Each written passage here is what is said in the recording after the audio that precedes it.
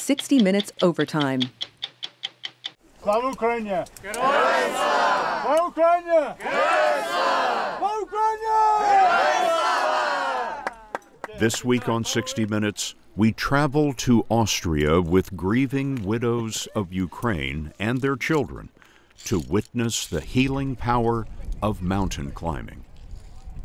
The program called the Mountain Seed Foundation was founded by Nathan Schmidt, a Marine veteran who had done three combat tours in Iraq and found his path to recovery through mountaineering. The team of professional guides and other volunteers included Dan Cnossen. Cnossen was Schmidt's Naval Academy classmate. As a Navy SEAL in 2009, he lost his legs in Afghanistan. He's a three time Paralympian, but he'd never climbed since his injury. Tell me about Dan Cnossen. Dan is an incredible man, incredible person. When we went to the academy together, Dan uh, went Navy SEALs out of the academy, and I went to the Marine Corps. And when that happens, usually there's you know you know you lose track. But I never lost track of Dan. I would always ask through my other contacts how he was doing, and I um, in 2009 I uh, you know I learned from our class that he had been injured.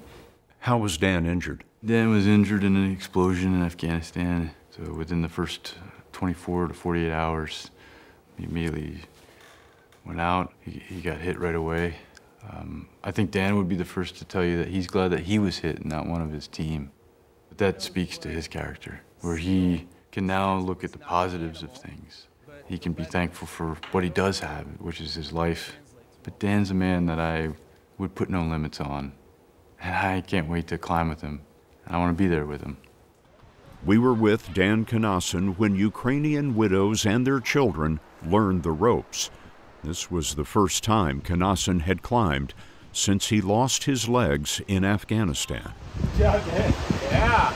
You're flying. All right, now you can try to flip here. With a much different center of gravity, he had to test whether his climbing harness would hold him. I can't even, I can't come out of it. He's good. He's, he's good.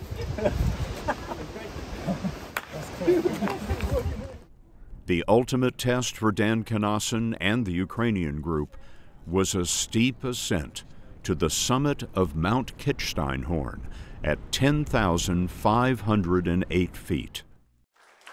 Before they made their ascent, Cnossen had words of inspiration. The doctors had to take my legs in order to save my life. І надовго після цього я зрозумів, що мої ноги були ампутовані. Лікарі мусили відрізати мої ноги для того, щоб спасти моє життя. I started thinking, why did this happen to me? But over time I learned about two concepts. One, is that when things get really difficult and you can feel the stress or the difficulty, the anxiety, the grief, the loss, and you feel that increasing, that's the time to sharpen and narrow the focus and focus on what's the most important thing you can be doing right now to actually improve the situation. And the second thing I learned about was this concept of perspective. How you, how you look at how you look at a challenge, how you look at the situation.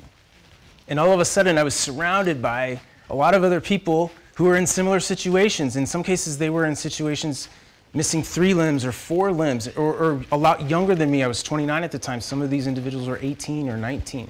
Perspective can allow you to feel happy or grateful for things that maybe you, you can feel happy and grateful for. To appreciate what you have, not thinking about what you're missing.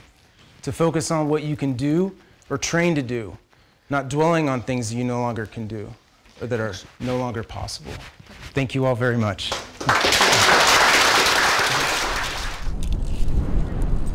With the help of specially designed prosthetics called sockets, Cnossen reached the summit of Mount Kitzsteinhorn. That's awesome. I had written off mountaineering. I didn't really think it was possible, to be honest. But with the cables, I can pull myself up. It's a lot of arm work, but it makes climbing and mountaineering possible, and I'm, I'm so excited.